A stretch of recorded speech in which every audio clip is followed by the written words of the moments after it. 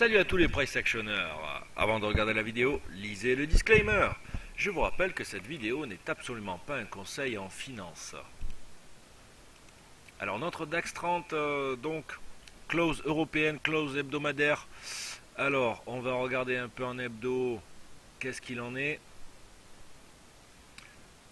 Alors bon, toujours la moyenne mobile. On est sur euh, un petit pullback bilatéral par rapport à cette dégradation. On ferme sur un doji hebdo en journalier.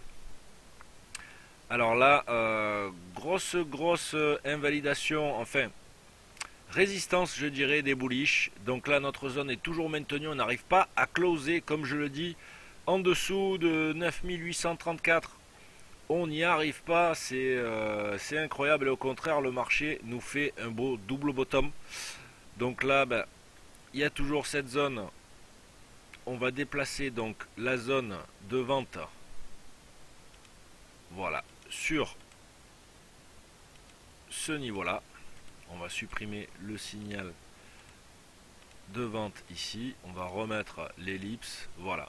Et donc là, nous aurons notre nouveau scénario maintenant qui est mis en place pour la continuation euh, de la hausse. Et même, on aurait un premier scénar ici maintenant assez agressif, c'est-à-dire sur clôture franche au-dessus de ce niveau. On va un peu le, relever, pourquoi pas, ici, à l'achat, avec un renfort, pourquoi pas, hypothétique, pour aller rechercher les 10 500. Et les bearish, c'est tout simplement ben, un bon rejet, encore une fois, 7 TL, et une clôture sous 9700.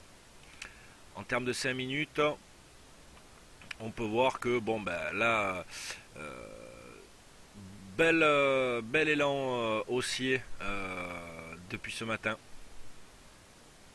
Voilà, très bel élan haussier euh, sur le DAX. On a commencé euh, vraiment bearish et puis là on se reprend vraiment bilatéral, bilatéral, bilatéral euh, avec l'apparition de certains MZ. Bref, ça a été quand même du gros ranging après tous les essorages qu'il y a eu et voilà, nous resterons donc sur les bornes fixées en daily. Je vous remercie, je vous souhaite de passer un excellent week-end et je vous dis à lundi.